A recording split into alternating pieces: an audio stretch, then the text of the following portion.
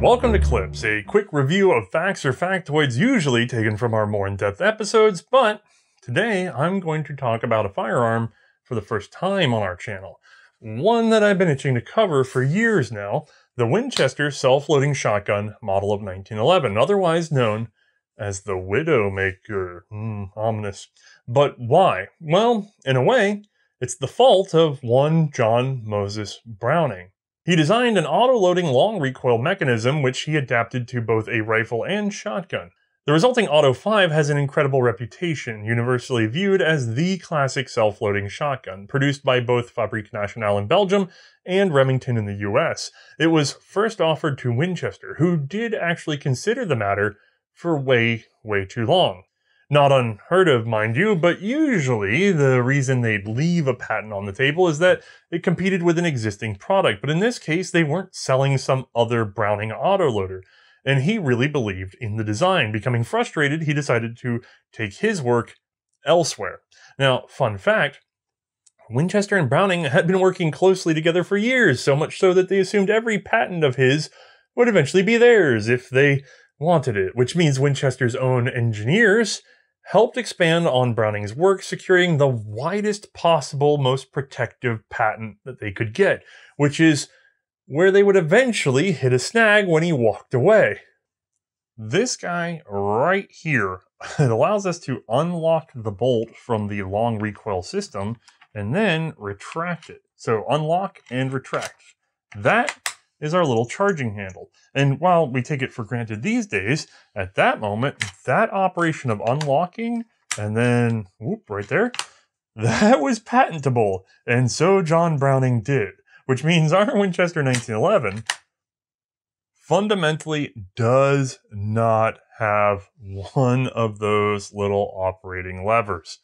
Hmm, how do you open a breech like that without using a direct lever. Well, on their magazine rifles, Winchester used a central plunger. A bit awkward, but okay.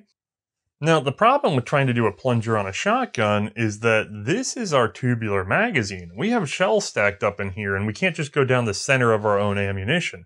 Now, we're going to need another way to open this thing up. And there is a clue to how uh, embedded on this gun. Let's just keep going forward and see if we can figure it out. Oh, you gotta be kidding me. Yep, that's right, folks. You just grab a hold of your barrel and manually cycle that long recoil action all the way back into.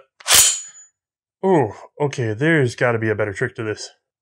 If you own a Winchester 1911, this little button right here is your best friend, and you become intimately familiar with which direction he is supposed to be pushed outwards to the right, like it is now, means that this sucker, the minute we conquer, is going to drop that bolt. If we push it in, though, oh, that's stiff. And come on up and pump the action. Let me just see if I can do this from the table. Okay, sorry, I was beating the crap out of the microphone. All right, I'm holding the barrel back. If I let her forward, okay, there we go.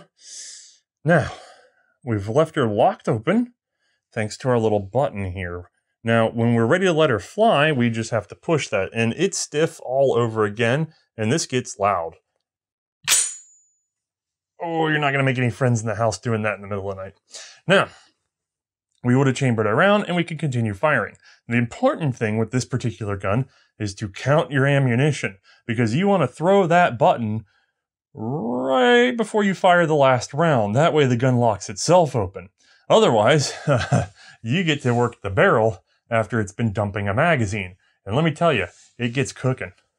Now, all that's great, but I started this episode by saying that this was the Widowmaker.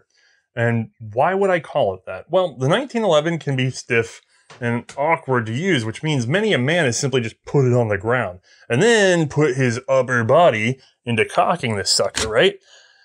This naturally, when you're standing, points this muzzle at your face or chest. Mm, not the best plan, mind you, but hopefully it didn't just pop off when chambering around. To be honest, I'm not actually sure if it ever earned the nickname in actual blood. More likely, it just burned a lot of hands. All awkwardness aside, I will say that this 1911 is among my favorite firearms that I own. It was a gift from my family and has, knock on its own wood, run flawlessly for me. I find it to be a great shooter and love handing it to confused people on the range. All right, y'all, have a good one.